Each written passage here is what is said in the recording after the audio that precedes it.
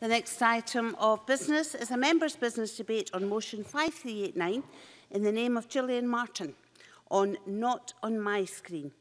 This debate will be concluded without any questions being put. And could I ask those members who wish to speak in the debate to press the request to speak buttons? I call on Gillian Martin to open the debate. Around seven minutes, please, Ms Martin. Thank you, Presiding Officer. This book has been sitting on my table for about two months. And I knew I had to read it, but I kept on putting it off. I bought it the day after going to an event in this place run by the International Justice Mission about cyber sex trafficking. The Locust Effect details how violence and injustice perpetrates poverty, and it's a tough but an essential read.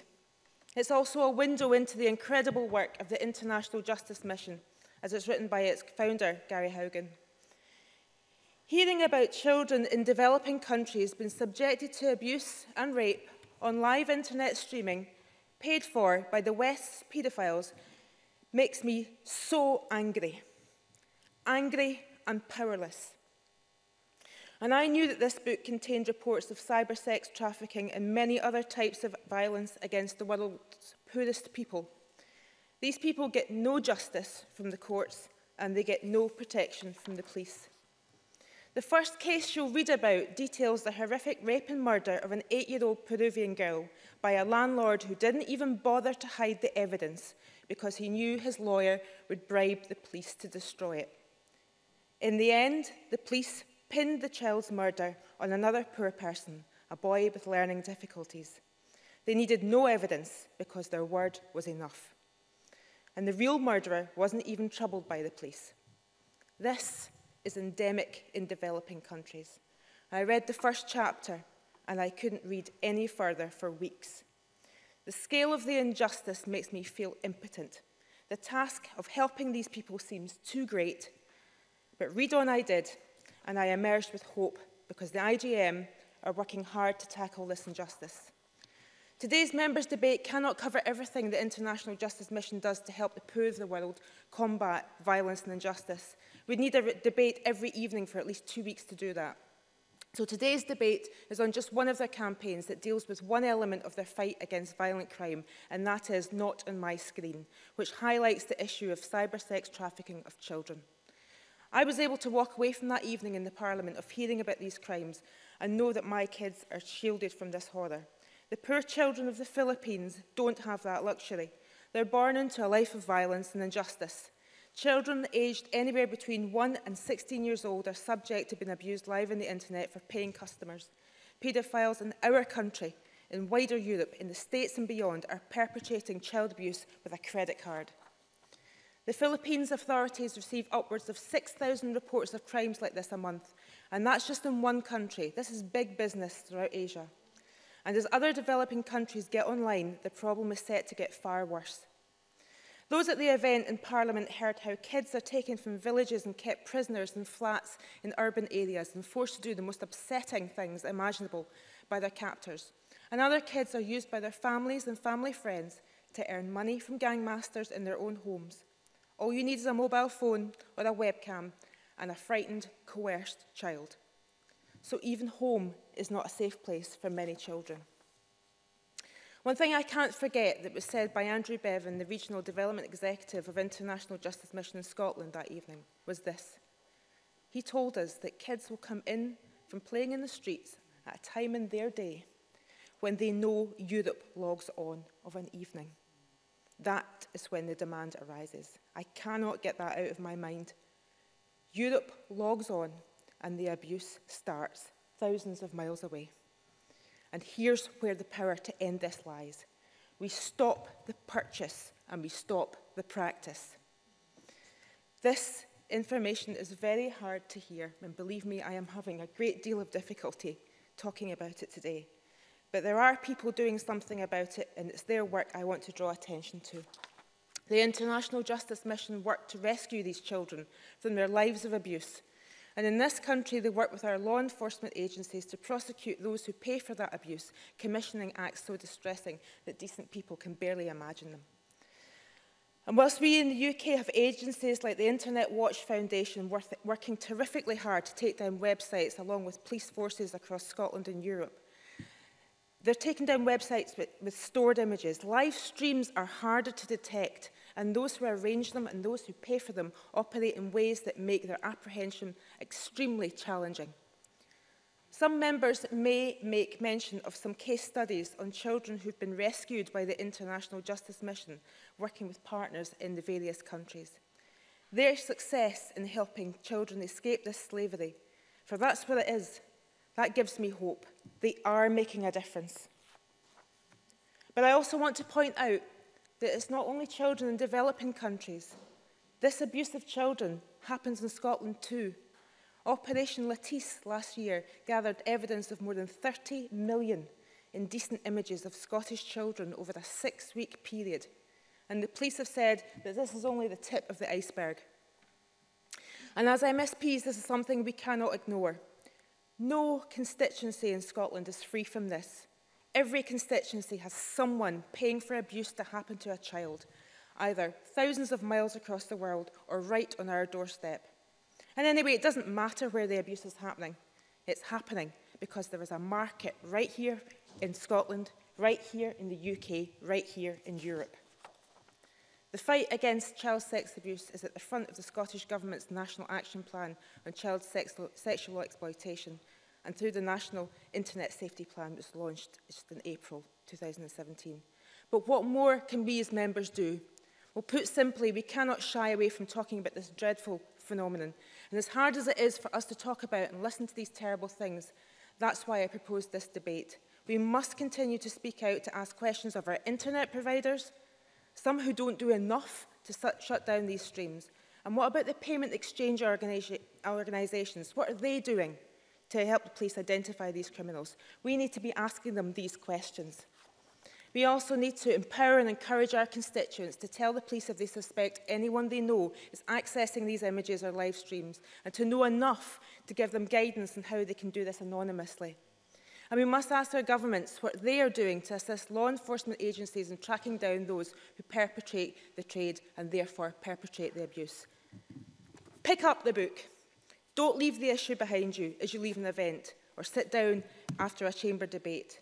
Presiding officer, let's keep attention on the issue and support the work of the International Justice Mission and say very firmly, not on my screen.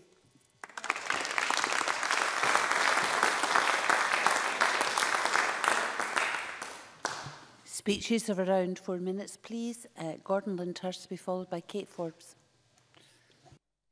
Deputy Presiding Officer, let me begin by thanking Gillian Martin in particular for bringing this debate to the Chamber, and she has expressed matters, if I may say so, very eloquently, something that is a very difficult topic, I think, for any of us to speak about, far less in any detail. And I would also like to think, thank the International Justice Mission for the good work it does worldwide, protecting vulnerable people and bringing criminals to justice. The Not on My Screen campaign has been set up to try and counter a growing problem that spans today's globalized, technology driven world.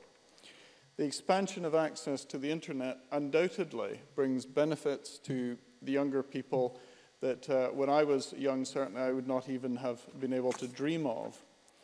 Now, we should welcome the benefits the internet brings and do what we can to make sure that children will benefit from this across the world. But the internet has also this terrible dark side that governments are very much still learning how to deal with. The internet spans borders, means that any action taken to tackle the more unfortunate consequences of it require true global cooperation across borders. In the UK, although we have no reason for complacency, we do have a reasonable, reasonably good track record of identifying illegal content, shutting it down, and pursuing justice for those who have suffered at the hands of this sort of terrible crime.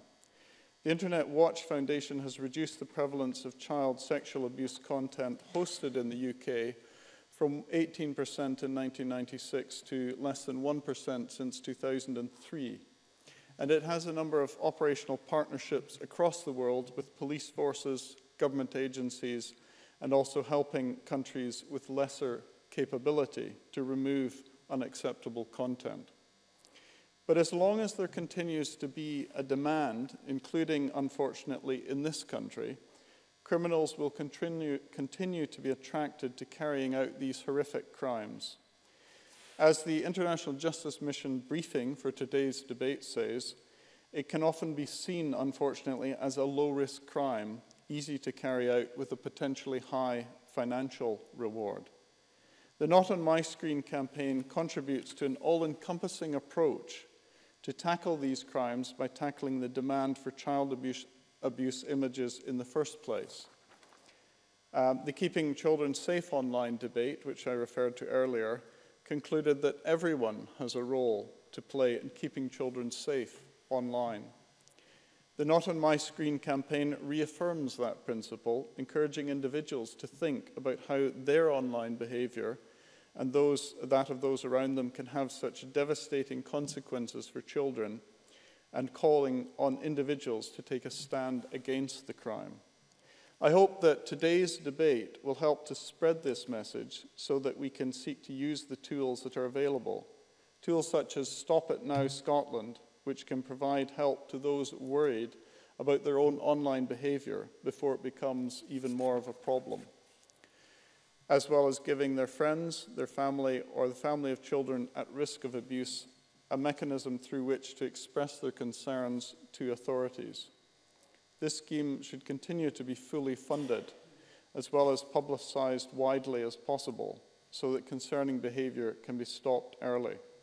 And I'd like to also briefly mention the important work being undertaken by the University of Edinburgh, who are being funded by the NSPCC to carry out research looking at deterrence to viewing indecent images of children.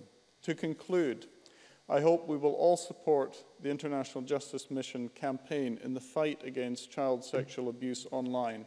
The internet is full of opportunities, but it must be kept safe for us all and especially for children. I call Kate Forbes to be followed by Ash Denham. Thank you, Presiding Officer. Presiding Officer, across the world today, there are children, individual children with names and faces who are entirely in the hands of merciless abusers. And it's markets and demand here in Scotland that is driving that trafficking across the world. Because those who access material online through the internet bear the responsibility for what they do. Last week, the Scottish Government, we discussed the Scottish Government's strategy on trafficking and exploitation. And today I thank Gillian Martin for bringing this debate to the Scottish Parliament. But today's debate almost pushes it into an even darker place, if that is possible because today paedophiles and abusers anywhere in the world can exploit children, most of whom are under the age of 10 years old. And those perpetrators of the abuse, those that drive the market, are not people that stand out when you walk by them on the street. And yet they are condoning, they are facilitating, they are driving demand across the world. And International Justice Mission has the cases, individual cases, um, on their website individual stories, stories of children who have been deceived and trafficked um, for example, in the Philippines, and enslaved in apartments and flats and exploited to a Western audience. The traffickers are often local, often family members or friends who, who benefit enormously from al allowing the, those that are in their charge, those that are family friends to be um, abused. And the victims themselves, the victims, 54% of the victims rescued by IGM were between the ages of 1 and 12 years old. And in fact, um, I spoke to uh, the Internet Watch um, Foundation last week, who said that 2% of the um, child abuse cases that they were aware of, 2%, of those that they assessed were under two years old. And the problem, presiding officer, as Gillian Martin has sketched out, is violence. The problem, according to the UN, 4 billion people live outside the protection of the law. That means they live outside the protection of public justice systems, outside the protection of police courts and a legal system. And that means that the police, the courts, the law does not protect people from violence. There's a lot of talk about poverty, but violence is the hidden crisis which is undermining our best global efforts to help the poor. And if each of us imagine what it would be like if we called the police at a time of need and no one responded and nobody turned up, that there was no way to get justice and we knew that violent criminals would have no fear from retribution. And that is um, captured very well in the book that Gillian Martin mentioned. But there is hope, and International Justice Mission is an organisation that brings hope because it doesn't do what most of us do, which is to discuss the issues. It actually goes into situations searching day and night for individuals who are in need of rescue. IGM supports teams of lawyers, investigators, social workers and community activists who work full-time to rescue victims and bring perpetrators to justice. The internet, it facilitates and it lifts the hand of restriction on some of the worst excesses of human evil. And it's so important that we get behind IGM's um, current campaign, Not On My Screen, to educate individuals like ourselves on the levels of abuse being generated by the Western market, by Scotland, to encourage individuals to take a direct stand against this abuse and to question the public's behaviour around internet activities. Because right now there are children Children with faces, children with names that are at the mercy of a Western market. I call Ash Denham to be followed by Rhoda Grant.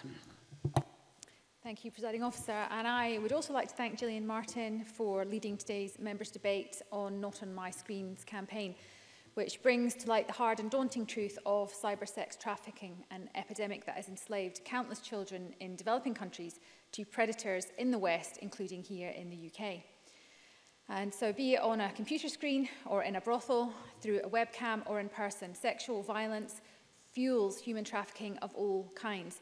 And we must remain aware and supportive of causes like Not On My Screen that are fighting for children who, in most cases, have no one else to fight for them, not even the law. And this lawlessness is the crux of the issue at hand. According to the UN, as uh, Kate Forbes mentioned, 4 billion people live outside the protection of the law. And this idea of living in a place where the justice system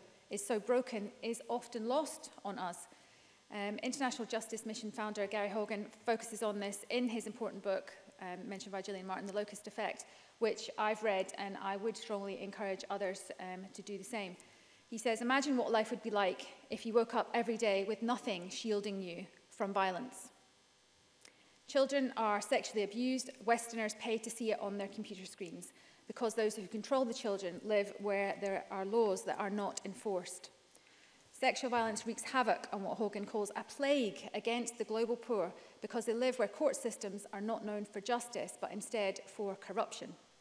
And some of the poorest men, women and children in the world are abused, exploited and enslaved in plain view of police forces that perpetuate rather than prevent violence and crime. As Hogan states in The Locust Effect, the most fundamental systems of law and order have been useless for so long in much of the developing world that violent criminals preying upon the poor don't even give it a second thought.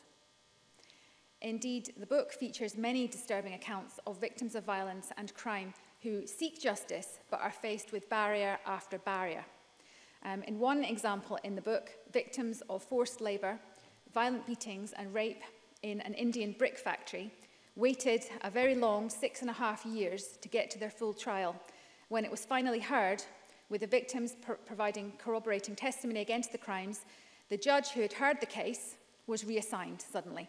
And although he had time, he did not rule on the case. Instead, it was passed to a new judge who then acquitted the defendants without listening to any of the testimony or hearing any of the evidence. Those victims were robbed of legal justice. Those perpetrators walked free. And unfortunately, stories like this are all too common. And in fact, many crimes never even make it in front of a judge. Hogan says, and I quote, violence against women and girls in the developing world is against the law in nearly all the countries where it occurs. These laws, however, are simply not enforced. Most acts of violence against women are never investigated and perpetrators commit their crimes safe in the knowledge that they will never face arrest or punishment. End of quotation. International leaders agree that sexual violence is an epidemic that is targeting the poor. Its threatening presence seems to be everywhere, says Hogan, all the time and showing absolutely no mercy. But there must be mercy, mercy through justice. The scale of lawlessness in the world touches nearly half the global population – but organisations like IJM, which has a global team to rescue and protect millions across the world, progress is being made. So projects like Not On My Screen, that campaign has been very successful, rescuing 1,300 people from trafficking and making a huge 75% reduction of children available for sex across three Philippine cities. So it is entirely possible with investment and training to turn these criminal justice systems around. And this work brings mercy, justice, and also, most importantly, hope. Because if we want to fight poverty and if we want development work to have that real impact, we've got to recognize the devastation that this locust of violence brings on society. And if we work together, we can build capacity that's needed to create and run these functioning criminal justice systems to give people the protection and the hope that they so desperately need. Thank you. I call Rhoda Grant to be followed by Rona McKay. Um, can I also congratulate Gillian Martin for securing the debate and indeed bringing this really important topic to the Chamber. Um, those of us that intended, attended the International Justice Mission's briefing on child sexual exploitation, not on my screen, could not be anything other than horrified at the extent of the terrible abuse. Sexual exploitation in any guise is simply wrong. We're all human and we need to respect each other. Slavery was supposed to be outlawed 200 years ago, yet, if anything, it's growing, with people and children being exploited. The International Justice Mission told us how this exploitation was now happening live over the internet rather than just by distributing images and film. Both involve the abuse of children, but some images are easier to find than live a broadcast.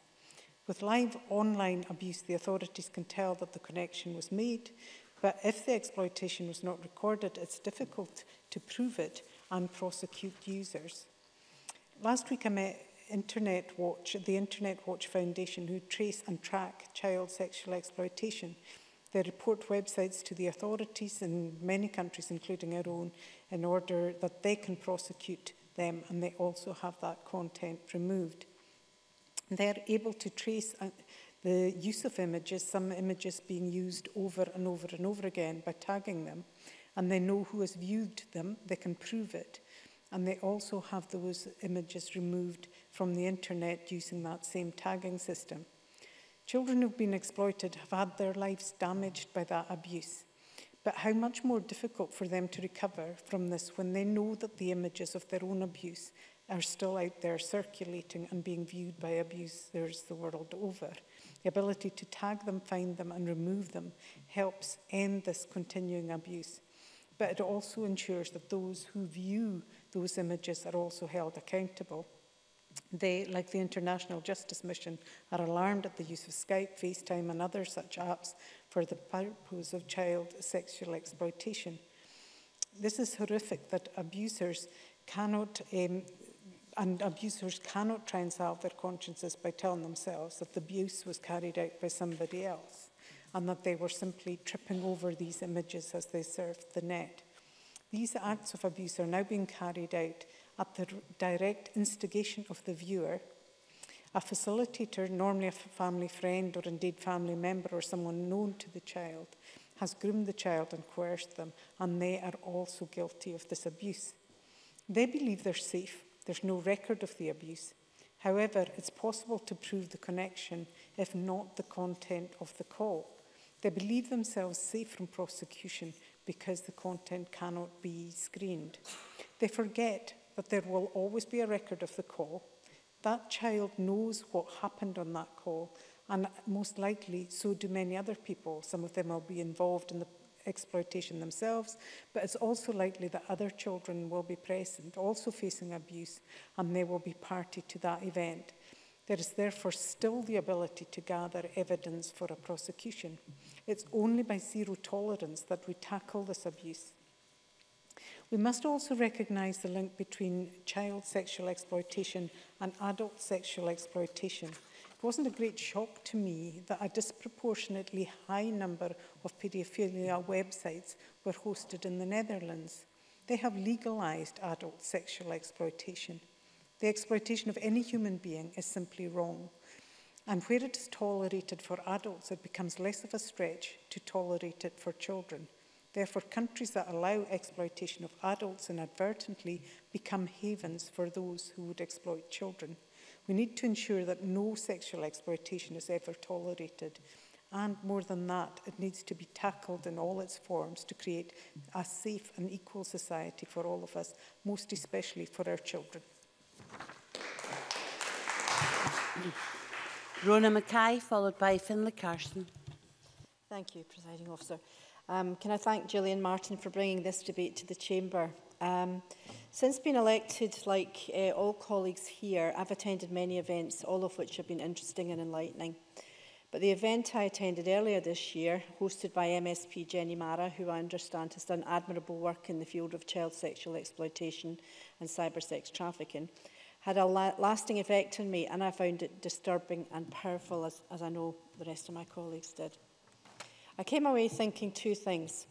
Firstly, I was shocked that this could be happening to children throughout the world, including Scotland. And secondly, I was in awe of the amazing work being done by the International Justice Mission and the specialist police officers in Police Scotland and the National Crime Agency who are dedicated to eradicating this horrible scourge. These officers who are protecting our children see things on a daily basis no individual should ever have to witness.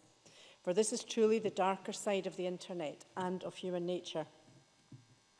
Cyber sex trafficking of children is a growing and devastating form of modern-day slavery, unimaginable before the digital, digital age and involves the live-streaming sexual abuse of children viewed over the internet. As Gillian Martin said in her powerful speech, the majority of victims being abused and exploited are often the poorest and most vulnerable. The IGM also partners with justice systems throughout the developing world to bring criminals to justice, restore survivors and strengthen justice, justice systems. The work they do is essential in preventing violence against vulnerable in individuals throughout the world who have no access to justice otherwise. Uh, in an effort to raise awareness, they've launched the Not On My Screen campaign. But this isn't just an international issue. Scottish children are becoming the subjects of online abuse in increasing numbers.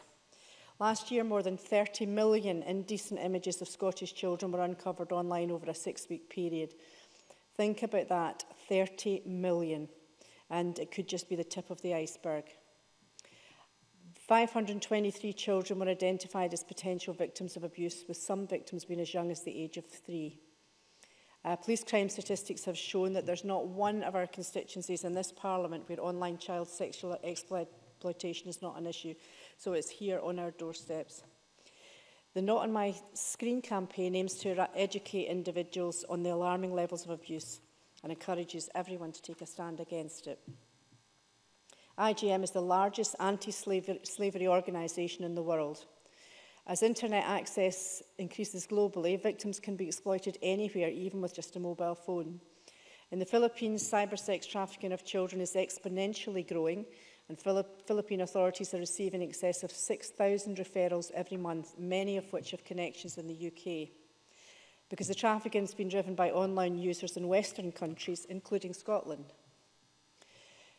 IJM programmes around the world are currently protecting more than 21 million people from violence and slavery, and 54% are aged just 1 to 12 years old.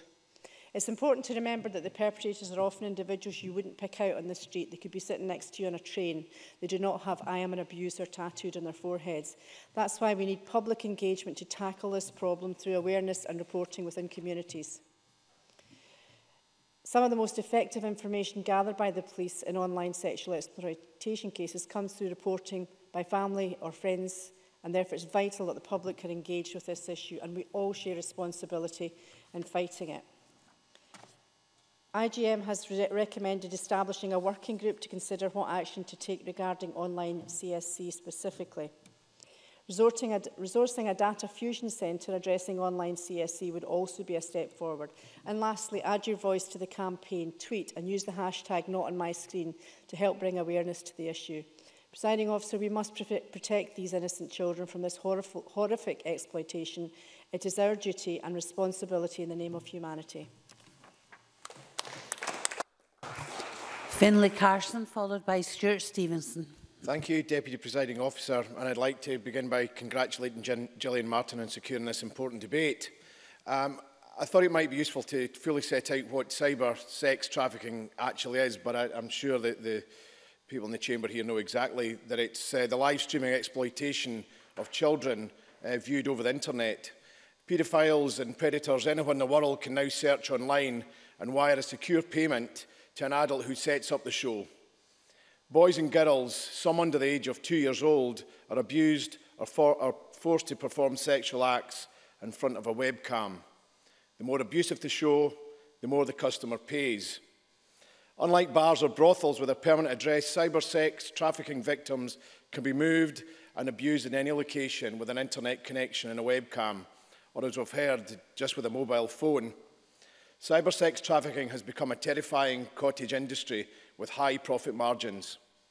Children should be able to grow up free from the horrors of sexual abuse, exploitation and trafficking, something that should go without saying, but sadly that's not the case. As we become more digitised as society, when more of our day-to-day -day life is spent online, it is more important than ever that we have governments to, that have the, safe, the right safeguards in place to protect, to protect our children and young people. and those most vulnerable in society from online exploitation. Cyber sex trafficking and online abuse of children must be one of the most abhorrent crimes imaginable. The IGM campaign, Not on My Screen, is vital in highlighting these dreadful crimes, and we must recognise as MSPs that this is going on. We must ensure that our police and intelligence services are doing everything possible to shut down these websites, and we have the tools to do so. and to bring the full weight of the law against those who are taking part in these disgusting crimes. Governments both in the UK and Scotland are taking action on this important issue. In February, the Home Secretary announced the delivery of a £40 million package of government measures to protect children and young people from sexual abuse, exploitation, and trafficking, and to crack down on offenders. It includes the launch of a new centre of expertise in child sexual abuse, and an extra 20 million for the National Crime Agency to tackle online child sexual exploitation. 2.2 million for organisations working with children at risk of trafficking and the launch of the independent child trafficking advocates. Deputy Presiding Officer, the internet is a wonderful resource, but sadly, as we've heard, it has its dark side. IGM highlights the crimes that are committed upon children, and it's not easy reading, but we mustn't shy away from it.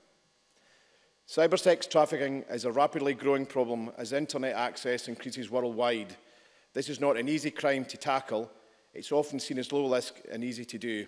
And I'm totally in support of the aims of the IGM to educate individuals in alarming levels of use being generated by the Western market, including here in Scotland, and encouraging people to take a direct stand against this abuse. It's incumbent on us to work together as legislators to ensure that every step is taken to protect our young children online. There's often an outcry when we suggest, when government suggests there should be more access to people's internet logs, a cry of breach of their human rights. Perhaps by demanding our human rights, we're actually abusing the human rights of those children who get abused. And we need to look very carefully at how these uh, privacy and encryption methods are now used and how they can actually make it more difficult for the perpetrators to be caught. I and my colleagues commit to ensure we do as much as we can so the internet can be harnessed by everybody for the incredible tool that it is and not abused by the few and these sickening crimes as highlighted by Not On My Screen campaign. The last of the contributions in the open part of the debate is from Stuart Stevenson. Uh, thank you, uh, Presiding Officer, and uh, congratulations to Julie and uh, Martin in bringing uh, this important topic to us today. Uh, but particularly, I, I thank those who've helped to brief me. Uh, Barrister Annabel Turner came to see me yesterday uh, and uh, briefed me on behalf of the International Justice Mission. It's worth having a wee think about what they're about. She, like many of the people who work for them, professionally qualified, providing services to that organisation entirely pro bono without any uh, financial benefit accruing to them. And it's indicative of a caring society that people are prepared to do that. But this is a subject which will quite properly uh, motivate people to do their very best uh, to deal with it. Cybersex trafficking is not an easy subject to discuss. Uh, uh, the people involved uh, are very nasty people indeed. But um, I, until comparatively recent times in my constituency, had uh, at Peterhead Prison, Scotland's serious sex offenders prison. Uh, sex offenders sentenced to four years or more in prison, 300 or so of them uh, in my constituency in a prison, essentially cut off uh, from friends, family and people elsewhere. And it's worth having a little think about those people uh, who were in that prison. They are a quite different kind of criminal from the kind of criminal you would meet if you go to and if you go to Barlinne. Much cleverer, much more socially competent, much more convincing. They're able to use their social skills, and their knowledge and their expertise uh, to perpetrate their foul uh, crimes. They're able to suck in other people uh, to protect them, to create a cocoon uh, round their offending behaviours. I know of one particular sex offender who was in Peterhead Prison, whose parents were so convinced of their son's innocence uh, that before the police arrived at a particular locus, uh, the parents had been cleaning the blood off the walls and repainting rooms. And these were parents whom you would have thought were the most upright members of society, but caught by the duplicity of a criminal involved in sexual abuse not online in the particular case uh, that I'm talking about. Now, we've heard some references, uh, most recently by Finlay, about technical measures that we might take. It is worth saying um, that we could get ISPs, all our traffic goes through internet service providers, to look at the traffic that's going through and detect what's happening. But the honest and unfortunate truth is that simply won't work because if you encrypt what's going through, you don't know what's in the encrypted package. And yet encryption is an important part of protecting certain kinds of data on the internet, so we can't ban it uh, on the internet. Simply isn't possible. I suspect, uh, presiding officer, that we're back to the Al Capone approach. Al Capone was a gangster in Chicago in a very, very corrupt city for some seven years, until in 1931 it was concluded the only way to get him was that he hadn't paid his tax bills on his ill-gotten gains. And I think that's the one way that we might be able to make some progress, and that is to track the money and where it's going, because it's difficult to transmit money uh, without there being a mechanism for doing so. I'll just leave, and there isn't time to go into uh, the issue of uh, Bitcoin and, uh, uh, and chains that uh, go with that. But even there, it should be uh, possible. I too uh, very much uh, respect what's being done by the Internet Watch Foundation, taking down sites as they do. But what we have to do is get right back to the genesis of these sites and make it economically inviable uh, for them to do it. Uh, I met Christoph Clausen, as I think others did uh, last week from the IWF, and uh, was very interested in what he has to say. I've no magic solution, none of us here do. But I think having a debate like this at least alerts us to the problem. That is a good start. Um, and uh, I commend uh, Gillian for bringing it to our attention, allowing us to explore this important topic. Presiding officer. I call Mark MacDonald to respond to the debate. Around seven minutes, please, Minister. Thank you very much, Presiding Officer. And can I begin, like others have, by congratulating my friend Gillian Martin on bringing this important debate to the Chamber. And um, Gillian struck a note of caution in her speech where she said that this was a very hard issue for her to discuss uh, in the Chamber. I don't think that's something any of us should ever feel in any way apologetic for. The fact that we find this difficult, I think, is essentially uh, a reaffirmation of our humanity, that this, revolves, that this creates that sense of revulsion that makes it difficult for us to speak about these issues. But speak about them we must, uh, and therefore bringing this debate to the Chamber, I think, is exceptionally important. But the point has been made by a number of members this evening that speaking about this issue, uh, the mere fact of, of, of talking about it, isn't in and of itself uh, enough either. We have to ensure that we are taking appropriate actions where we can uh, and when we can. And I'll try and touch on some of the areas where the Scottish Government is taking action uh, within the powers uh, and the remit that we have uh, available to us. But we stand uh, supportive uh, of the work uh, of the International Justice Mission and also of the Interno Internet Watch Foundation, who have been mentioned this evening, um, and their work to try and eradicate uh, Uh, child sexual exploitation and the abuse of children that is uh, often perpetrated uh, and perpetuated uh, as a consequence uh, of the digital world in which we now live. And many members uh, touched on the challenges that are faced as a consequence of the internet, the balance that there is between the positive impact that the internet has had in terms of it making it much easier for us to experience connectivity across the world. It was a point that uh, Gordon Lyndhurst touched upon, but also the dark side that is often created as a consequence of that, in that it makes it much easier for those uh, with, uh, with bad intention uh, to be able to make those connections uh, as well uh, without ever having to actually come into physical contact with one another. And that was another point that was raised during the course of the debate. And I think uh, Rhoda Grant made an important point um, that while, um, as has been spoken about, the individuals may feel that the crime they are committing is one that uh, does not have a victim because of the lack of physical proximity. Um, it was made by, by almost all members that there are victims. But Rhoda Grant made the important point that Uh, it also is not a crime that is without evidence. And uh, Stuart Stevenson, I think, rightly touched on some of the challenges that can be faced in terms of being able to uh, track some of that internet use and, and where exactly those connections are being made, but also made the important point um, that if one follows the money, often that can be the means by which to catch those who are perpetrating these offences. Now, here in Scotland, uh, we take a very strong approach um, to uh, having a, a position of um, trying to support individuals who find themselves being exploited. And Gillian Martin made, I think, the very important point that while much of what has been spoken about in the debate and was spoken about by the Interna International Justice Mission has focused on those children uh, in other parts of the world who uh, find themselves being uh, abused uh, for um, the gratification of a Western audience. Um, we must not forget the fact that there are examples, and Operation Latisse highlighted examples uh, of children in our own midst who are also being abused uh, over the internet, and that abuse uh, must also uh, be cracked down upon. And that's why I was uh, grateful to see Police Scotland's Operation Latisse targeting uh, those individuals who are responsible uh, for sharing those images uh, online uh, and creating some of that, um, that, that material here uh, in Scotland.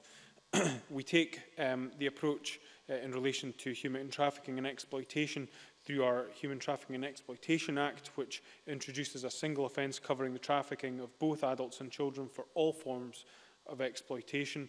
Um, and uh, in March of 2016, we published an update of the National Action Plan to Prevent and Tackle Child Sexual Exploitation, which set a range of actions to meet agreed outcomes to tackle that form of sexual abuse.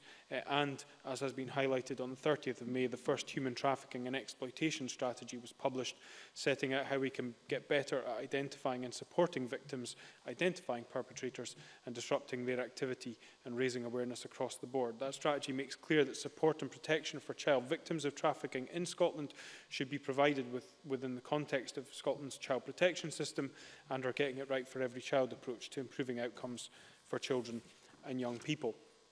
The government has also funded Stop It Now Scotland to develop and test a prevention toolkit which can be used to help people prevent child sexual abuse before it occurs. Uh, and we're also providing funding for SACRO for their challenging harmful online images and child exploitation or choice programme It's a pilot programme suitable for those downloading illegal images of children from the internet, uh, where there is a low risk of sexual harm and the offences are non-contact in nature. The service is aimed at males aged 18 and over who may be considered suitable to be diverted from prosecution or who are subject to a structured deferred sentence community payback order or other community order or licence. Uh, we will engage with the University of Edinburgh and Stop It Now Scotland as they undertake research on deterrence to viewing online indecent images of children. Because I think that's one of the important points that we need to focus on as well in this presiding officer, is that while absolutely we want to ensure that the individuals who perpetrate these offences are caught and are brought to justice, and I think Ash Denham highlighted some of the challenges that we face in relation to that in the way in which um, justice uh, can be uh, delivered uh, in other countries. Uh, it would not be for me to uh, talk about um, how other countries should uh, run their own justice systems, but I do think that there is a concern out there that children uh, who are subject to this exploitation, and Kate Forbes highlighted some of the numbers who are identified as living outside the protection of the law,